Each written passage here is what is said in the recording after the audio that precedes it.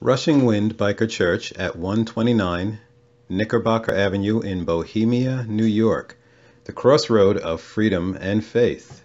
God bless you. Good evening. Good evening. How we doing? Awesome. awesome. Um, I'm going to open a prayer, a couple of prayer requests. Uh, Jerry and Camille um, are on an emergency uh, visit. One of our friends in the Motorcycle Club uh, was in an accident earlier. Um, it's actually someone who's had a previous accident and had a long rehab. So besides the, um, you know, the obviously physical things that he's going to be dealing with, there's also the, the mental and emotional things of here we go again. You know, and um, someone Jerry Jerry is drawn very close to, and uh, we're praying, and Jerry's praying that um, that he's going to have the opportunity to lead this man to Christ. He's heard the story. He's been around us a lot. He's been here quite often. Um, very sweet guy. So keep him in prayer. Also, Pastor Spock has, uh, has got some kind of cold or flu or something. He's got high temperature and he's in bed. So Millie's taking care of him. So uh, we start in prayer. Um, we want to lift them up. So let's come to the Lord in prayer. Father, we uh, we thank you, Lord, for Lord for uh, this family.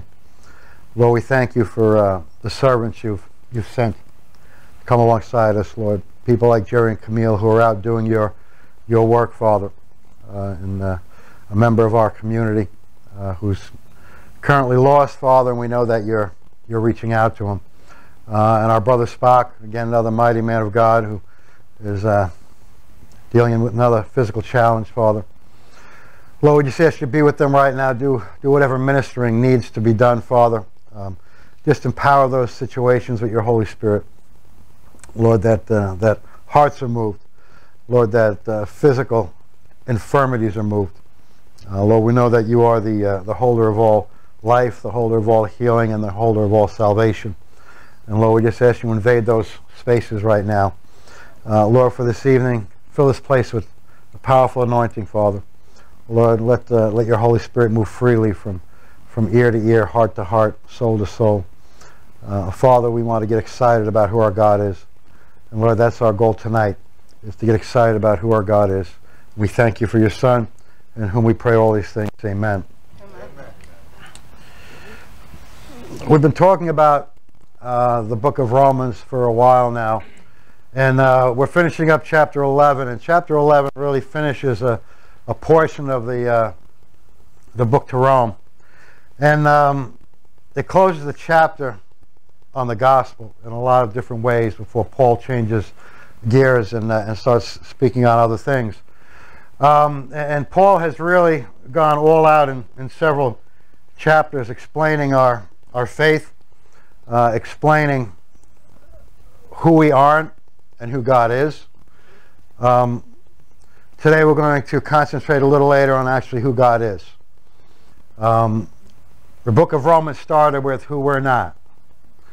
And, uh, and hence the title really goes from the beginning of Romans is um,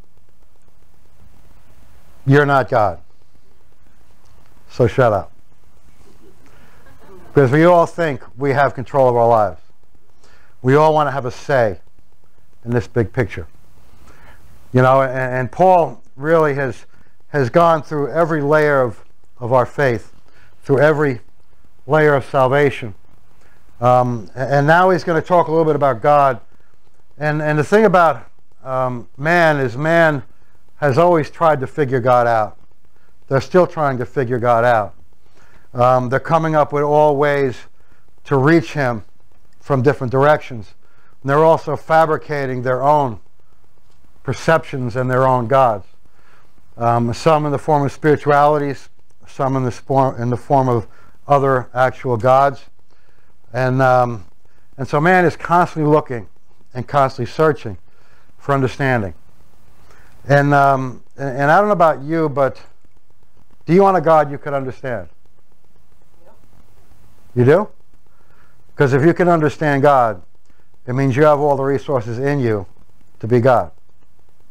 Well, no, I don't want to be God. But what I'm saying is we can we can we can know who God is but the very statement of our faith, for God so loved the world that he gave his only begotten Son. Does anyone understand how a God so big could do something so outrageous? There's just no understanding that. You know, because God's love is broader than anything we can comprehend. You know, so man's man's challenge is to walk in faith and be willing to not understand the whys, sometimes not understand the hows, because God is God and you're not. So we're not going to understand everything about God.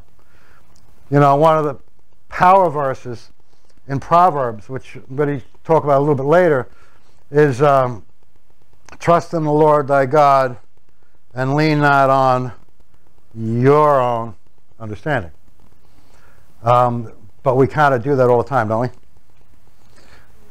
We don't just lean on our understanding. When God does something or says something we don't understand, we get obsessed with having to understand it. And there are a lot of people that spend their whole lives trying to understand God, and they miss the joy of God, and they miss the peace from God. Because the peace of, un, of, of God is a peace that is beyond understanding. But people are constantly trying to figure this thing out.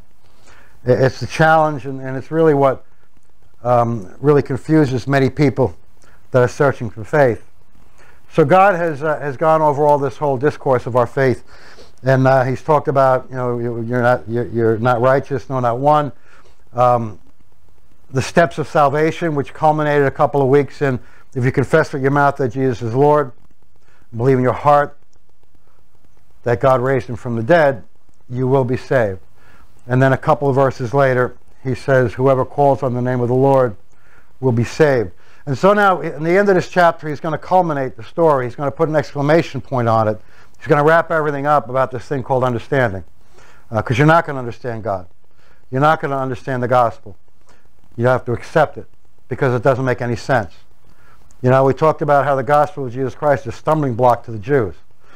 You know, the very gospel, the very Savior we have is the stumbling block because the mind can't comprehend that God of creation would actually come down here allow his creation to kill him, be a man, go into a grave, and come back. All right? That's lunacy. So the very thought of that complicates the thought of big God. It also says that the gospel of Jesus Christ is foolishness to the Gentiles because they just, that doesn't even make sense. And, and so the thing is, God knows we're not going to understand him. Paul's trying to giving us, give us the encouragement that we don't have to understand him. And, and he starts in, um, in verse 25 of Romans 11. He says, I don't want you, brethren, to be uninformed of this mystery, so that you will not be wise in your own estimation, that a partial hardening has happened to Israel until the fullness of the Gentiles has come. Now, this, this thing about being wise in your own, in your own mind really covers two broad things. The first thing is we tend to want to be self-righteous when we have salvation and someone else doesn't. And so what Paul is dealing with is the Gentiles say, well, we're smarter than the Jews because they didn't get it and we understand it. Yeah. And so what happens is when you stand in a place where you think you're wise, you actually have created a gospel of works because you figured it out and now you're saved. And, and so Paul is trying to let the Gentiles know now you're, you're not that smart. You're not that smart at all. And the Jews, on the other hand, they think they're wise because they have the Torah and they have the promises and they have big God and they have the Messiah that they're still waiting for and they have all wisdom. You know, the book of, of uh, Proverbs, Ecclesiastes, much of the Old Testament is wisdom literature, not so much faith literature. So they believe they're wise in their own eyes. And God is saying, not so. Because I, I sent you the very Messiah that you have all the wisdom and knowledge to perceive is here, but you're just dumb. So don't consider yourself wise. Plus, the last level of this wisdom is the gospel itself and God's plan for humanity boggles the intelligence of the human mind. It does not make sense. When we think about God and his vastness and the smallness that we are. And so you can't figure it out. We cannot be wise. All right? The Bible has the wisdom to teach us the thoughts of God and how we can be wise in our working out of this humanity in this life. You know, the book of Proverbs is how to live a wise existence and make good decisions. But it doesn't make us as wise as God. It just makes us wise in the human realm. And we're still not going to understand why God sent his son. So, um, Paul now goes through this portion of Scripture in verses um, 25 to 32, where he's kind of calling us out about he doesn't want us to be ignorant and he doesn't want us to think that we're wise. That almost sounds like a contradictory statement, doesn't it? All right, but what Paul is saying back in, in Romans 11.25, I do not want you to be, brethren, uninformed of this mystery. So Paul is saying, I want you to understand it's a mystery. The gospel is a mystery. Uh, to the fact that why would God do that? And we have to start walking in faith and not trying to figure this thing out. Uh, there are a lot of people out there, like I said, they're looking for God. They're trying to figure God out before they step into a life that God has for them. They'll never do that because you eventually come to something that you don't understand. Because without faith, it is impossible to please God.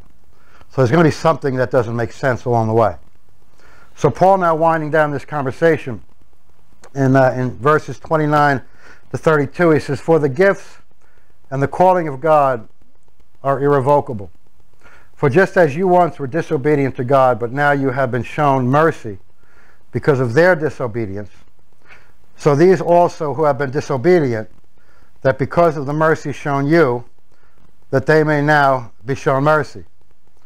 For God has shut up in all disobedience so that they may receive mercy.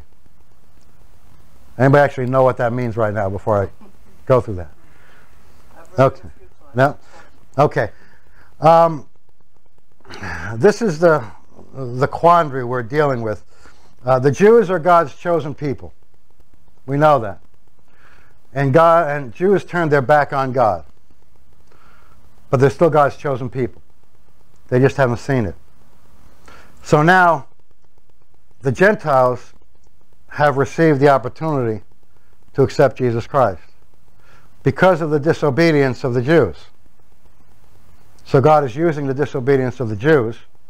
It says in this portion of Scripture they were enemies of the gospel. Right? So God is using the fact that Israel, who are still the chosen people, have turned their back on him to bring the Jews. And now God is using the Jews to cause jealousy so that the Jews now come back to be chosen also. Meanwhile, both of them are looking at each other and just thinking they're, they're, they're wiser than the other bunch. And so God, going back to uh, the beginning of, of Romans, which Paul is also saying here, um, you've all came from a place of disobedience. The Gentiles were just a disobedient people. The Jews have become a disobedient people. So God has put all of them together in a place of disobedience. So don't think you're so wise and shut your mouth and pay attention. This is what Paul is telling them here. Don't anybody think that you've got this figured out because my ways are bigger than your ways and you'll never figure it out. So just accept it. You know, accept that the Jews are now able to come back and he's gone through these, these different metaphors about um, Israel was the root and it, the faith grew and the people of God and the nation grew and then they turned away and the branches broke off. So certain branches broke off and then the Gentiles had opportunity to be grafted in. And we spoke about this last week. The branches are still laying on the ground. They haven't been thrown in the fire. And so they have every opportunity to be grafted back in to the root. Or as Jesus put it, the vine and the branches. Now, two things I want to talk about here. Um, he says that the, the gifts and the call are irrevocable. All right? Salvation is the gift of God. The nation of Israel are God's chosen people. They were given the gift of being God's people. Now, salvation has two aspects. It has the broad aspects of the nation, and it has the individual aspects of the individual people. That's why he said not all Israel is true Israel. All of Israel is still a blessed nation. They're still the people of God.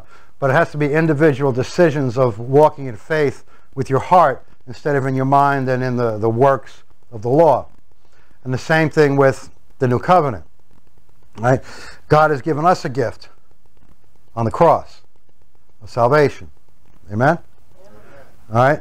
Now, these things are irrevocable. Now, what does that mean? That means that God has presented humanity with a gift the gift of salvation and being his people. And God has placed the gift under the Christmas tree. All right? Understand there are, there are spiritual truths within some things that we want to think is pagan and people throw this stuff on it. All right? But God has given us a gift and he has wrapped it up and he's presented it to us. And every person in this world has been given a gift of salvation. Amen? I hope you realize that. The problem, we haven't opened the gift. But everybody has the gift. And it may take you all, all your life to get the gift because you have to open it up and receive it. Once you receive it, it it's your possession forever. Once you accept Jesus Christ, your salvation can never be taken away from you. There's challenges in life, and we have our part to walk a victorious life, yes. But once you have unwrapped the gift of salvation and you've understood the gospel, it can never be taken away from you. But also, if that gift lays there under the Christmas tree for years and decades, your gift is still there. You know, I spoke about this this morning. My father gave his life to Christ six months before he died. He was kind of a godly man, but never really made the hard decision till later in life. And uh, the gift was laying there for his whole life. He was raised a Catholic. My mother began born again when I was 14. So there was a gift waiting for him. It was never taken away. You know, so it doesn't matter when you pick the gift up. And the thing about it being God's ways are bigger than our ways. If we give someone a gift and we put it under a Christmas tree, you know, days go by and weeks go by, we know what's in the box, right? Months go by, years go by, decades go by. And you're looking at this gift and you know what's in it. Wouldn't we pick that gift up and give it to somebody else? Isn't that what we would do? It's going to waste. God's ways are bigger than our ways. And his gift is irrevocable. So every person in humanity has a gift that's waiting. It doesn't matter if it's a day, doesn't matter if it's a week, doesn't matter if it's a lifetime. It can never be taken away. As long as we have breath, we can pick the gift up, unwrap it. That's why when we, when we talk about people coming to Christ, we ask them, have you received Christ as your Lord and Savior? Because it's receiving the free gift. But the gift is irrevocable. It's there and it can't be taken away even before you unwrap it and take possession of it. And if you're here today and you you have the enemy that has spoken into your mind that, well, you know, what you did, it wasn't real, and you didn't really get saved. All right, that's why in here we try to make sure that people are educated and they get to that point that they make a decision they know is true. Because once you make that decision and you know it's true, it can never be taken away. But what's the first thing the enemy tries to do? You never did that. You're not good enough to keep the gift. You know, and all of a sudden he throws condemnation, he throws guilt, and all of a sudden we, we got these thoughts like, am I really saved? Do I have to say that prayer again? And if I say it again, do I have to like do more stuff so that this time it takes? And we've all seen people that go through these things. We have to understand that God is not an Indian giver. The gift is waiting. And it could be dusty, it could be under a tree, but God will never take that gift back. You know, so also remember that with everybody we know that isn't saved. You know, understand how we speak about these things because there are people out there that think God couldn't save me. I've done too many bad things in my life. So God, God just wrote me off and took the gift back and gave it to someone else because that can't be for me because I'm just too miserable a human being. You know, so we have to encourage people, even that haven't come to the knowledge of Jesus Christ, that no, the gift is there and it's free. All you have to do is unwrap it, understand what it is, and receive it. Calling. You know your calling cannot be taken away from you? You know that. We all have a purpose in our life. We have a calling, something that God created us to do. Once you step into your calling, it can never be taken back. And actually, if you haven't come to Christ, God has a plan. You may never step into that plan, but He's not going to take it and give it to someone else because you didn't grab it. It's yours, no matter what happens.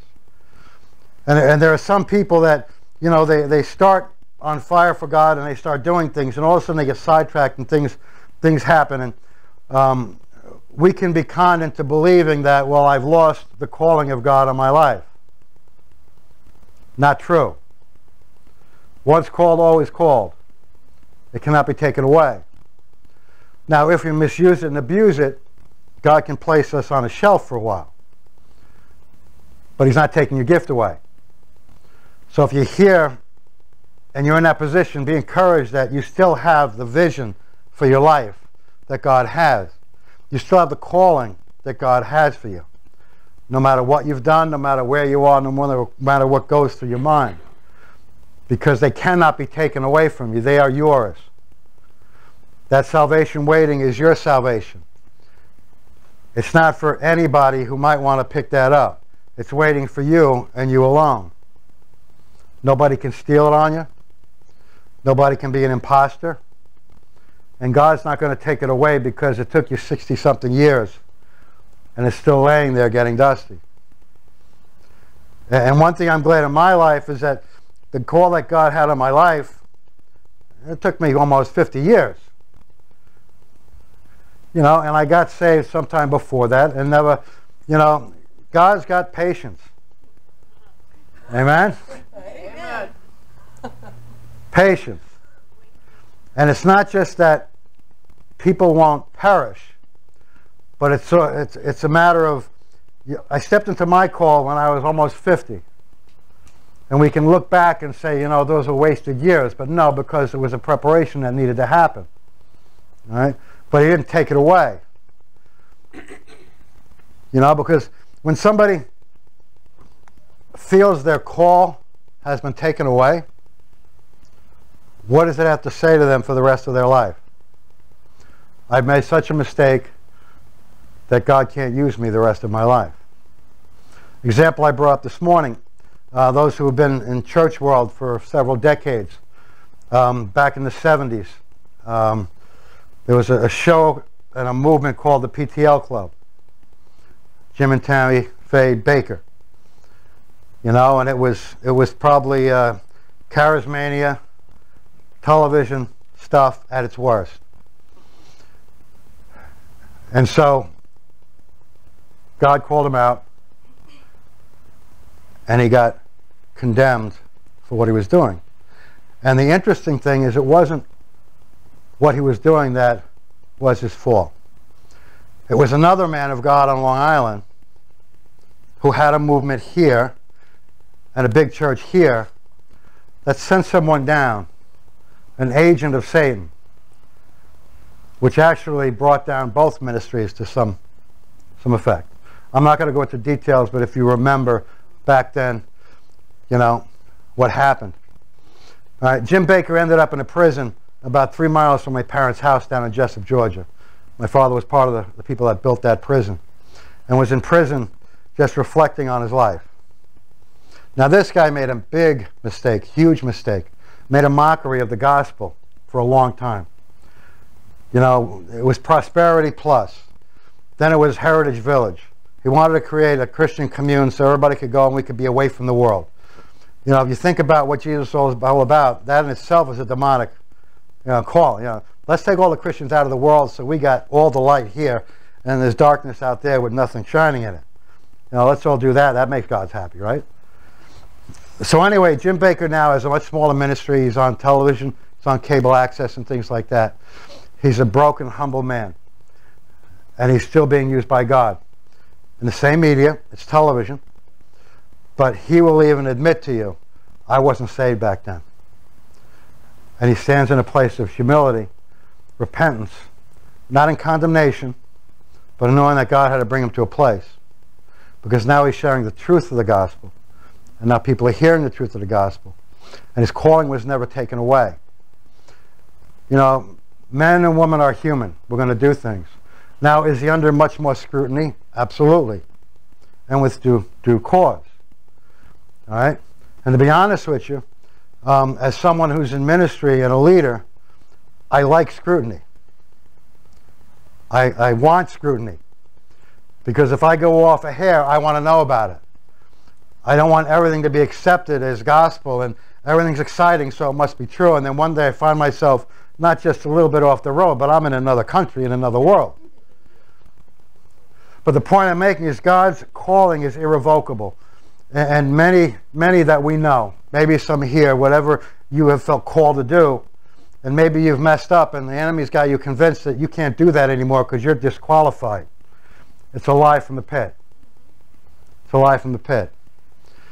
You know, God, will pick you up, He'll put you on your feet, He'll dust you off. You draw close to Him, He's going to make you brighter than you ever were. And your calling may actually be more empowered after the fact. That's also a possibility. See, all these things defy logic. You have to think, you know, God would think, okay, you, you really messed up. Jim, I, I could never put you out there again. Yeah, you just, you just wrecked everything. We would take his job away. We would be Donald Trump. You're fired. Wouldn't we do that? You know? But we're not God. Now, to fire someone like that goes according to every logical thinking human being. He should be fired and be never, never have the opportunity to be in that place again. And in our thinking, that would be the most righteous end of the story. Not just put him on a shelf, strip him of any opportunity to do anything for God again because of what he did before. Now that's a big example. I think probably most of us have smaller examples of the same thing. And some of us have overcome those things. And we haven't believed the lie, and we've gotten closer to Jesus, and we've fixed those problems, and now we're moving on. But there may be people here that, that are stuck in that place. And it doesn't have to be a huge calling. You know, your calling could be, you know, being the Christian person at work. But you, you slipped that day, and now, you know, just F-bombs off the wall. And now the enemy's got you convinced your testimony's shot. Your testimony's shot. You know, that's kind of a more realistic thing that we can all relate to. Amen? You know? But it's a lie from it's a lie from hell. You know, obviously there's things we have to overcome and sometimes we have to be in a place of humility and repentance to people we don't want to. But understand your call is waiting for you. And so sometimes it takes the humble thing even to go to someone who's not saved. Because that's even a more powerful thing. Because we know in, in, in here, we, we forgive and we ask forgiveness and we have humility. But when you can show humility to someone of the world who's expecting the opposite, and say, you know, I made a mistake. You know, I call me a hypocrite because in the moment maybe I was. And I'm sorry, and I, I gave you a wrong depiction of my, my God and my Lord. And then watch how that relationship and that whole thing changes.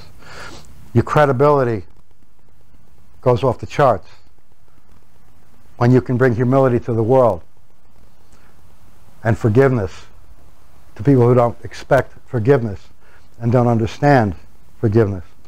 You'll find your call actually may be more empowered than ever. You know, that's kind of part of my story with this thing. Things I had to deal with and people that I, uh, and I hurt and stuff and I had to come back and, you know, do what I didn't want to do. But it changed something in me. And it made me a more humble servant. And that shows in a lot of different ways. And so all of a sudden your calling is not just restored, but it's empowered and it takes off in ways that you probably didn't even think you could before because of humility. Now, Paul is going to go from here, and um, he's, he's completed the whole story of the gospel. He's told us about everything about our faith. He's talked about the Jews and the Gentiles, and we're all equal. And, and yes, they were God's people, but now it's offered to you, and he's given you all the information. And now he's, he's tried to, to let us know that this faith, this salvation, cannot be taken away. That is the most rock solid thing you could ever put your faith in. And you can mess up. And you can't lose your salvation. And no matter how bad your life has been, the gift is waiting. It can never be taken away. And then Paul ends the rest of this chapter in really the important part of the whole gospel. And this we need to know because this empowers the entire gospel.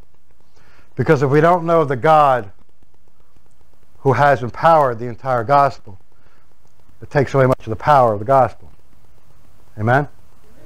And so Paul is going to share a few things about how great is our God. Did we sing that one? Yep. Okay, we sang that one. Yeah. And so just just kind of pay attention to how Paul puts things. I'm going to talk about it a little bit, and we're going to do something real cool at the end of the service, which I believe is going to bring us to a place of really appreciation, worship, and understanding about just how awesome our God is. Verse 33 says, Oh, the depth of the riches, both of his wisdom and knowledge, the wisdom and knowledge of God.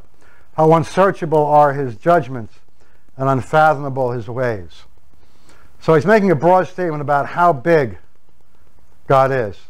And he, it's interesting because he uses he uses a nautical term. You know, we know that uh, God separates our sins as far as the east is from the west. Right? We, we know that. And we know that neither depth nor height or anything can take us from the love of God we have in, in Christ Jesus. And, God, and Jesus is the Alpha and he's the, the Omega. And these are, you know, these are directions that have no end. They just go and they go. But here he uses something a little more visual. And what he's doing, he's, he's comparing the awesomeness of God to the seas and the oceans. You know, the seas and the oceans make up two thirds of the earth. And when we stand at the shore of a sea or an ocean and look out, it just goes, it's, it's immense. And we kind of can get an idea of what huge is. But he brings it to another dimension when he talks about the depth. He brings it to a three-dimensional description because we can see the ocean as far as we can see and as far as we can see and as far as we can see. Now he's saying the depth is unfathomable. Um, people that know nautical terminology, a fathom is about six feet. And so he's saying in depth, it is unmeasurable. So it's giving a three-dimensional depth and broadness of how great not just God is, but his wisdom. Our wisdom doesn't scratch the surface of the waters. God is the vastness of everything you can't even see and the depth that you can never reach. And that's how big our God is. That's why this gospel that's not understandable, he controls and he put in place. And maybe we won't understand it, But when we accept and understand how big God is, maybe we'll understand that we don't have to understand. Because I don't know about you, but I don't understand the love that God has. I, try and I try and I try, and then you get something like this well, how big God is. Why would He do that? When we see the pictures of what our Savior did. You know, He's that, and we're us, and He did that. So the understanding of that and the knowledge and the wisdom of God is so vast we can't comprehend it. So the love God has for us, we're never going to comprehend. We don't have to. We just have to believe it and accept it. Just like the free gift. Because too many people are spending their time, even Christians, trying to figure God out. You know, why did this happen? Why, why did he do that exactly like that? There must be 17 layers beneath that we don't understand. So I'm going to go to commentaries and I'm going to look word searches and I'm going to go here and there and I'm going to spend my whole life trying to figure God out and miss all the joy, miss all the peace, miss the purpose we had because I'm so obsessed with trying to figure God out. And I think some of us have gone through those times. And we're wasting time. We're wasting time. Proverbs 3 5 says, Trust in the Lord with all your heart and lean on your own understanding. And what I'm going to talk about here for a moment is something that may be one of the most evil, most despicable things that have been promoted in situations that the world is actually trying to help people. And this is something called the God of your own understanding. Now, there's people here that are familiar with that term because it's part of help groups and things like that. And I'm not telling people to not go to these things. So I'm telling you to bring what you have to those things. But a God of your own understanding will never have the power to take you out of the gutter and fix you. Because you've walked your life with your understanding. So a God that has your understanding can only do as good as you've done to this point. He could never get you out of it. You are the God of your own understanding. And I've said this, and it's not against formulas and, and meetings and stuff, because in their inception, in the beginning, they were in their non-corrupt stage were from the Bible. But because of political correctness, getting more people, they changed it and they took all the power away from it. I don't want to have a God I can understand. Amen. I don't. That's useless. Because if I can understand it, I got all the information already. You know what I'm saying? And again, it's not coming against program, it's coming against philosophy, because that's all it is, is philosophy.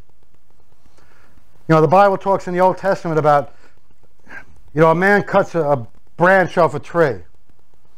And he, he takes part of the branch and he puts in the fire and he heats his house. And then he takes another part of that branch and he puts it in the oven and he breaks his, breaks his bread. And then he takes another part of the same branch and he whittles a little guy out of it and he puts it on a table and he worships it. It's the same thing that was burnt to cook his food and to heat his house. It's the same thing that in a matter of minutes is going to be nothing but a pile of ashes on the ground. That's the God of our own understanding. We don't want a God we can understand. God lets us understand his ways and he understands the process, but we cannot understand what goes through the mind of a God that would actually do this stuff for someone as really insignificant as us. You can't, you can't, you can't figure it out. Don't bother. Be in such a place of gratitude and joy and, and peace that I'll take it. You know? If you went out and bought a lotto ticket tomorrow and won $250 million, are you going to sit there and, I don't know how this happened. Let me just figure the math. How many people, how many people, you know, I don't know how they did this. Uh, give me a calculator. You know, matter of fact, I want the names of all the people who didn't win so I can figure out why I won and they didn't win. No, we take the check and we run, right? Right? It's the same thing. If somebody did that, we would look at them as a moron. They're a moron. I spent 10 years trying to figure out why I won. And the check's getting there, and probably the dog chewed it. They put it in the laundry, and now it's gone. You know? We have to stop trying to figure out God. In verses 34 to 35, it gives us a little bit of applications on that. He says, For who has known the mind of the Lord? Who became his counselor? Are we actually going to tell God how we should run the shop? Because that's what, what we do and we try to understand. I don't agree with that. You know, Lord, I can give you a hand with this one. You know, that one doesn't make sense to me. So this one makes more sense. Let's do things that way. You know, who, who is going to counsel God on the best way of doing things? Even if it doesn't make sense to us. It, it's sheer lunacy. You know, and we can laugh because we're in here and we get it. But there are people that are suckered in their whole life is falling apart and they're going to hell because they're falling into this stupidity of trusting other things than the God that will make life incredible without having to figure all the details out. And then he says, Or who has first given to him that he might be paid back? This is works. It's like I can I can I can figure out what I got to do to make God happy with me. You know, I can go to church, I can tithe, I can I can I don't know, maybe go out and, and help the poor a little bit. You know? And like God's up there with the chalkboard. Oh, oh Ski's got 17 things this week. yeah, yeah. I'm rolling. You know? Or you look at other faiths, because that's all other faiths are. You, you, you get on your face and, and you, you, you pray towards Mecca five times a day. You know why they do that? Because that God is the one that was whittled out of wood and the one that's just going to be ashes when everything is said and done in the end. You know, when we understand there's nothing we can do to make God happy except accept the gift. That's all it is. There's nothing we can do. There's nothing we can say. We can't outthink God. We can't tell him how to run the shop. You know, he's got a lot more experience in that than us. And um, we're going to end a little bit differently today. Is that okay? Yep. Hmm? I want everybody to stand up. And we're going to, we're going to, we're going to read you verse 36. But before I read it, I'm going to tell you a little story. Has anybody ever heard John Piper? And Piper was a pastor, a theologian, um, was, was a teacher in a Bible college. And he was finishing a semester. He was the last class of the semester and was a teaching on Romans. And he got to the last verse on the last day and the last moment in class. And he started doing diagrams on the board of the gospel and God and everything else. And he got to the point where he was doing a, a drawing or, or an illustration with this verse. And by the time he got to the end of the verse, the class was all standing and singing. This is verse 36. For from him, through him, and to him are all things. To him be the glory forever. Amen. This is called a doxology. It's a statement and a profession of how great and how big and how awesome our God is. How many people are familiar with the doxology from church past? Right? Does that mean that you know? You were here this morning. All right? you know, there's things, there's things that have been done in denominational Christianity that at their core was a perfect way to do what had to be done or say what had to be said. And, sometimes, as the weeds of corruption in Christianity overgrow them, you lose the purity of those things that become hidden. And so, we're going to sing the doxology. If you're out of the Catholic faith, and maybe others, you will recognize it as soon as we start singing it. Okay? And we're going to sing it twice. First for those who don't know it. And then we're going to sing it with all our heart and all our soul, and we're going to bless God today. Amen. Amen. Praise God from whom all blessings flow.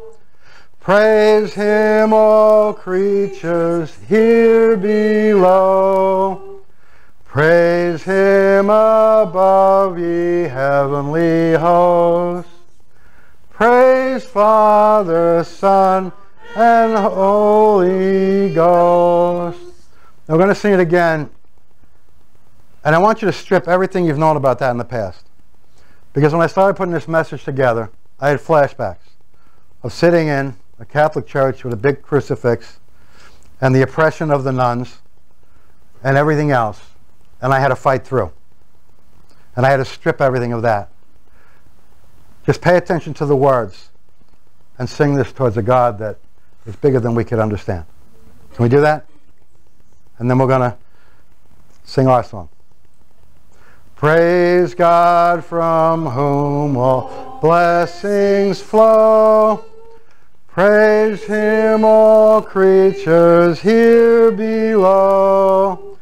Praise him above, ye heavenly hosts. Praise Father, Son, and Holy Ghost. See, Paul has just given the whole story of our faith. And he's just explained the God that empowers that gospel. And we need to appreciate the vastness and the power and the just unreachable love and compassion and wisdom and knowledge that our God has. And praise Him. Amen? Amen. Let's sing a song. What do you think, Johanna? Yeah? I know Johanna wants to sing. And then we're going to pray and we're going to close.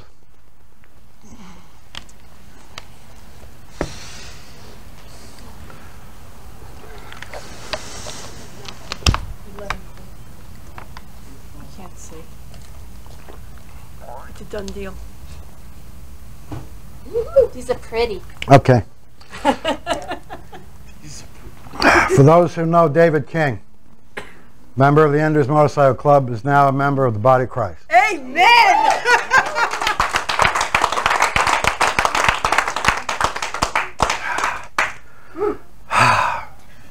He opened the gift tonight. Amen. Has fire in his eyes and a sword in his hand, and he's riding a white horse across this land. He has fire in his eyes and a sword in his hand. He's riding a white horse all across this land. And he's calling out you and me. You ride with me. He has fire in his eyes and a sword in his hand. And he's riding a white horse across this land. Calling out to you and me. Will you ride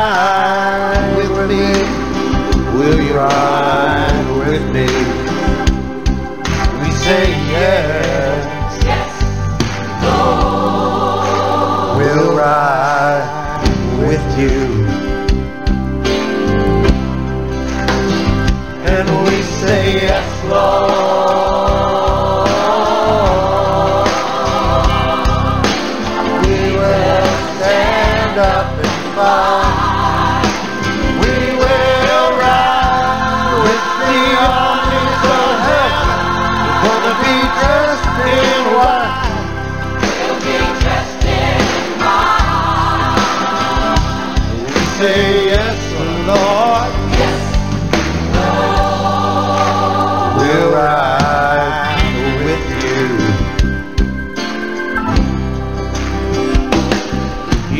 crown on his head. He carries a scepter in his hand. He's leading the armies all across this land. And he's calling out to you and me. you ride with me? Will you ride with me? We say yes, Lord.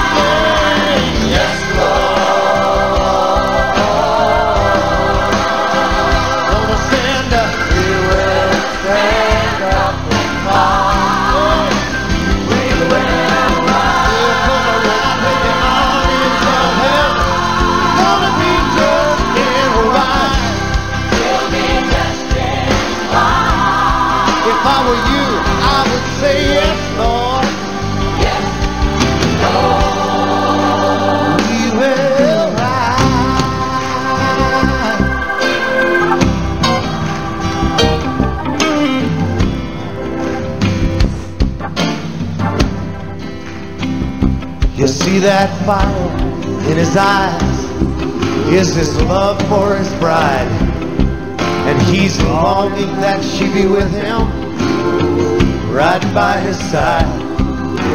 Yes, that fire in his eyes is his burning desire that his bride be with him, right by his side. Can you hear him calling out to us right now? Saying, Will ride with me.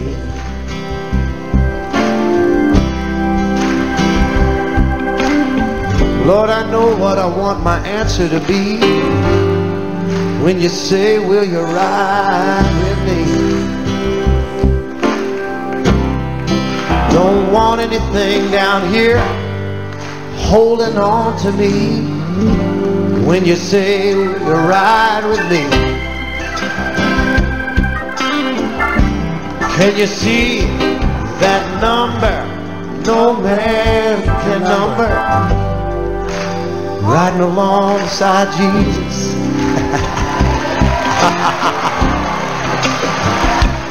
but he's calling out to us right now, saying, Will you ride with me? And we say, Yes,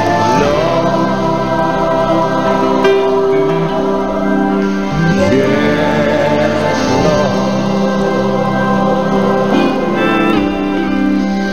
Yes, Lord. We say yes, Lord. Yes, Lord. We just do it one more time? Yes,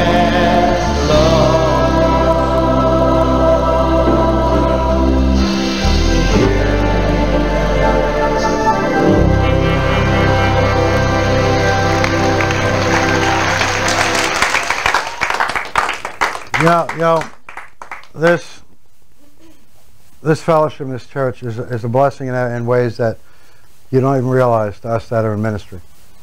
Um, most of the motorcycle ministries, even Bikers of Christ around the country, they don't have a, a rushing wind church.